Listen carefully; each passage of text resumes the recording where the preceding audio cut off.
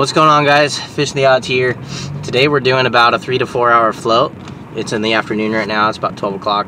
And we don't have a lot of time. We're doing a little Christmas train for the kids later today, so we just want to get out and see if we can't catch a steelhead.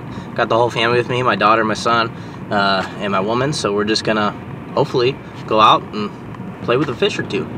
So hit that subscribe button, should be a good day. Um, this is the reality of steelhead fishing when you got a family. It's, it's hard to find time. A lot of you guys think I'm fishing 500 days a week, but really I fish one day a week. That's pretty much what I get. So we're gonna go out there, we're gonna make it happen, um, have fun doing it, just kind of show the reality of steelhead fishing and tug is a drug, baby. Just being out in the water is a good day for me, so let's make it happen. Um, if you guys want to get 15% off steel gear, use code ODDS15. Stay tuned, guys.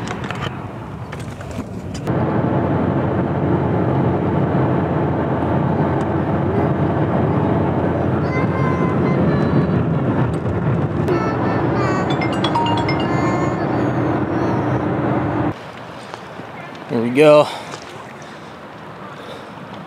Just loaded her up. Got the new steelhead bag in there, new addicted bag. And striker rod. Let's go fishing.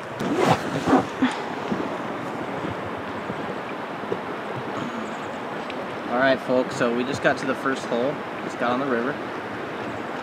Uh, fishing a maxi jig right now on a Nova tackle float.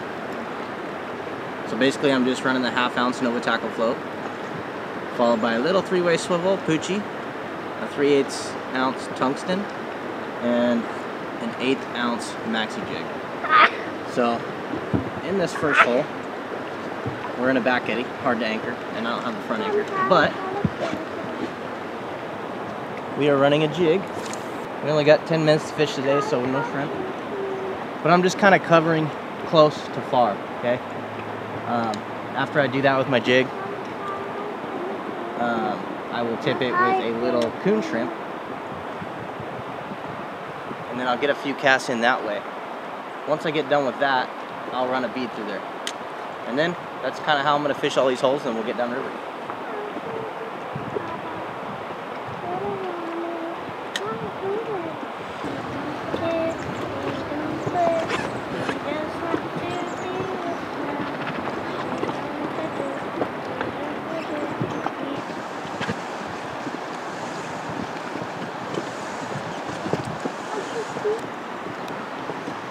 Folks, getting out of the first hole.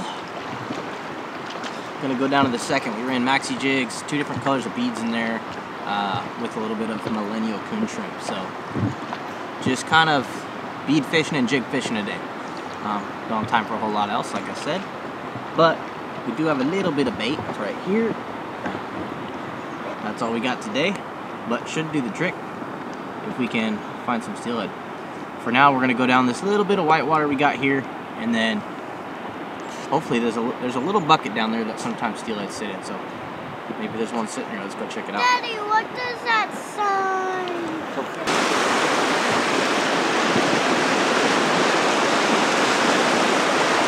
Getting down to the bucket, guys. Getting down to the bucket. Is this fun, guys? Whee!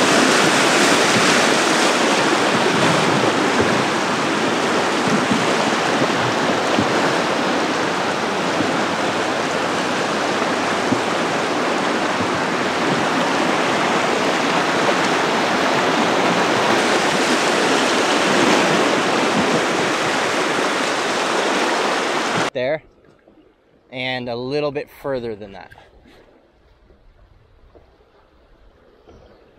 This is a tougher one to fish.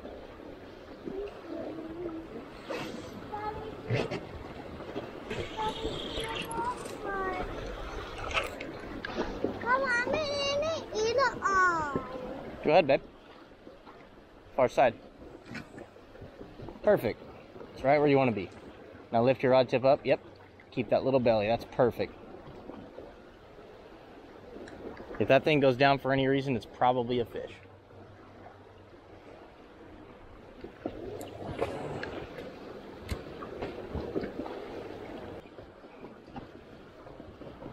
Very likely a fish. You gotta reel as fast as you can and lift. Monster. You want fishy?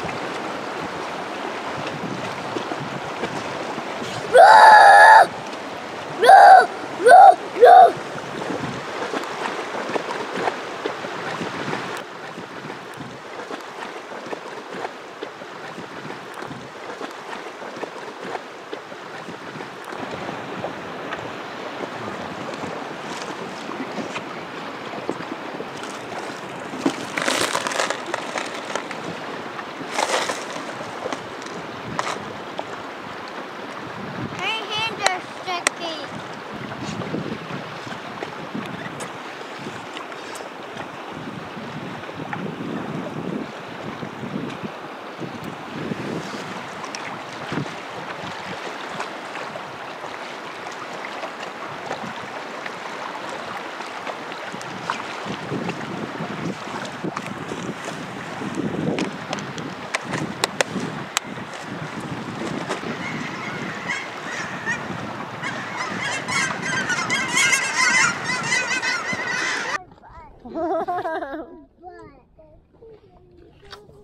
That's marshmallow butt leg. That doesn't hurt. Still doesn't hurt. All right, folks. So, the jig color kind of matters, right? So, I'm running a Nightmare Maxi jig, and they're not biting. I think there's a couple fish around. I don't think it's loaded by any means, based on the time of the year. But. I'm gonna run a pinker color. There's another one. We have five feet of visibility. It's that steelhead green, right? So I'm just kind of gonna pick a different color.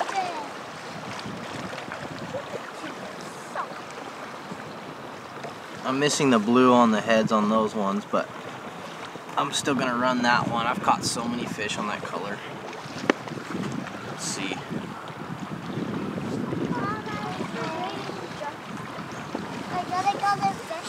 How many minutes left until the choo-choo train?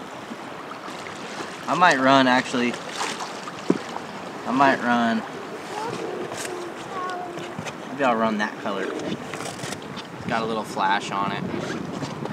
My feet No, I'm not gonna run that color what I'm gonna do, I'm gonna get back in here, find my jig box. My hands are freezing. You want gloves? Hold on. My hands and my feet are freezing.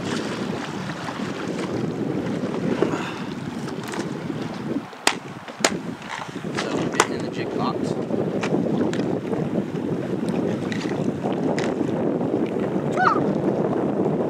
Right there, guys. That's gonna get them today. That's gonna get them today. So I'm gonna rig this up, eight ounce maxi jig, and hopefully with this color and the visibility in the water, this pink does the trick. Let's get rigged up, and then I'll see you guys back out there. I'll tip this with a millennial shrimp. and Call it a day.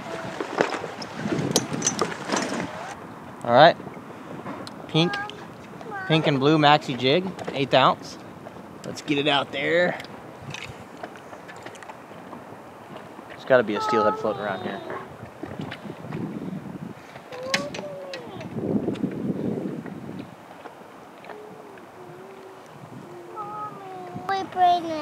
Are you are you eating cheese?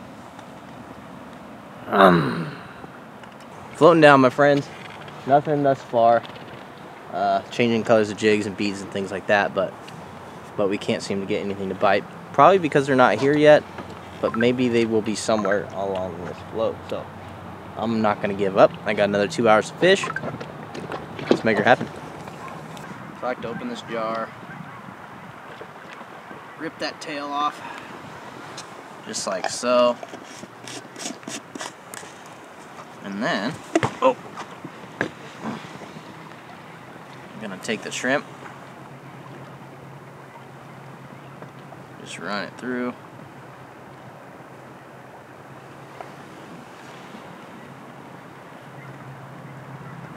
Just like so. Now we got a little bit of shrimp on a maxi jig. You look at this hole, look how beautiful that hole looks, guys. Look how beautiful this hole looks. I'm gonna run a jig through there first, and then after that, I'm gonna run a bead through there. But this jig's got some shrimp on it, some fresh shrimp. Let's see what happens. Early steelhead, baby. So I found bottom. So right there I'm on bottom. So what I want to do next cast, there's, okay now it came up off the bottom right there. It's a little bucket. So I'm gonna go ahead and lower the jig just a little bit. That was hitting the bottom right there. Just go about five inches. Cause I know I'm right about there.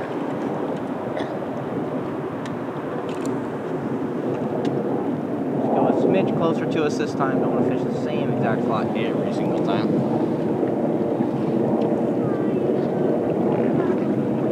Right there on that inside.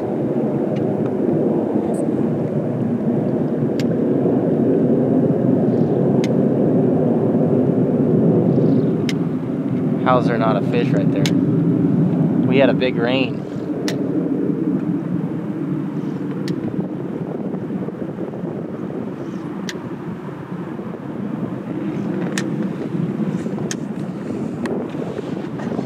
So I'm gonna reel this in, guys. Get out the striker rod and I'm gonna fish a bead through there. Because you never know if they're just not biting because I have a jig on. So you wanna you wanna fish everything you got in, in all these holes, see what happens here. Alright guys, so just got out the striker rod. Just bought this thing, man. I'm excited about it. This is the 9.9, um, 8 to 14 pound. And I'm gonna get a different reel on it right now. I have this Cascading Speed Demon, but I don't like the red with the blue, so I'm gonna get a different reel for this thing. Anyways, so this particular hole, I'm going to run, we got a lot of color in the water. I'm going to run a 16 mil elevated fishing bead. Um, this is like an orangish color. Um, I think that looks really good in this visibility today. Put that thing in the water, it looks pretty natural. So I already ran a jig through there. Now we're gonna run a bead through there. I'm running the size two Nova Tackle bead hooks. So, especially when that bead gets a little bigger, or sorry, I'm running the size one Nova Tackle bead hooks. Especially when that bead gets a little bit bigger. Especially when that bead gets a little bit bigger, you wanna upsize the hook.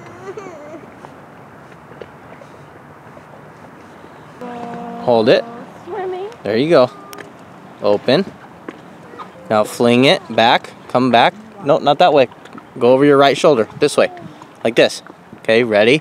Cast. Oh, yeah! Look at that. That's exactly how you do it. Now you're bobber fishing. Good job, Charlie.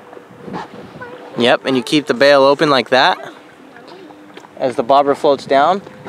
Now when you want to reel in, close the bail. Close it. Now start reeling. There you go.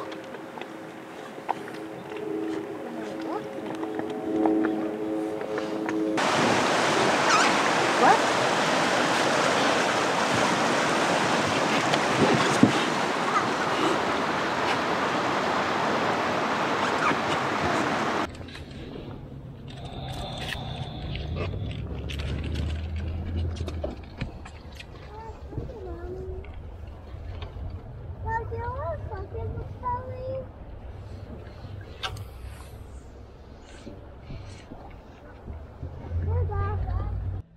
Love watching your videos.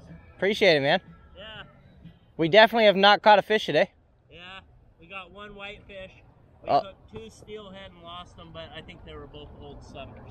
Oh yeah, yeah. Hi. Hi, kids. How are you? There was there was some. Are you having fun? No. No. well, at, le- at least you're being truthful, right? Well, I know. I love seeing you on video. You're always catching fish. You catch more fish than I do. I'm jealous. Say thank you. You are a fish slayer. She- I- when, now when she's all shy. Started, I used to always comment on your post about uh, getting sponsored by Coors Light. Oh, yeah, I mean heck yeah. We got we got banquets in the boat today. Rain, rainwater. Oh, you gotta have that rain here, baby. yeah, no, the water looks good, but I thought there'd be more fish around. Honestly, I did too. Yeah, We had a couple questionable questionable bobber downs, but yeah, I'd be lying if I said they were steelhead. yeah. It's, yeah, cool to see out here, yeah. Thanks for watching, man. Of course, all the time. I'll be floating down with you here in a minute. Yep. Yeah, about, about time to go home and call it a day. Yeah, we're gonna go to the Polar Express tonight. Got the Christmas train tonight. Are you cool? Yeah, we did that a couple years ago. It's a lot of fun. Is it? The kid, the kids will love it. Oh shit! I sat on the beer. look at that! I cut a giant hole in that. It's all gone. Look at that. We're done, right? Yeah, look at that. Never mind. I get to meet a superhero. We were at we were at Fisherman's can the I other shake day. Your hand. You're a you, you're a YouTube superstar. She's so shy. We were at Fisherman's the other day, and the fire department was in there. Uh, This fireman comes up to her. She goes, "You must be Charlie." She's like, "How do you know my name?" I was like, "That's awesome, dude." What are you doing? Look, mommy. Did you have fun fishing? Did you have fun fishing? Look, mommy. I see you can reach. Did you have fun fishing? No. Did you have fun fishing? Yeah. Did you have fun fishing? Yeah. Good. I was a marshmallow. All right, folks. So that's gonna conclude the float, man. That's that's the reality of steelhead fishing. Uh, we did not land a fish. We did not even hook a fish. And this is like early steelhead. Like it's December fifteenth, right? We had a big rain. The water came down. We had four or five feet of visibility. It was perfect. But reality is the fish ain't here yet. We got another couple weeks before they show up. But I met a lot of good people on the river today, and it's it's been a good time, a good experience. Kids had a good time floating the river, so that's kind of all that matters. But uh, I'm gonna tie this raft down right now, and we're gonna sign out. But hopefully you guys enjoyed the video. There's some uh, cool stuff in the video for you guys. Um, unfortunately, we just don't have a fish. But tight lines. See you on the next one.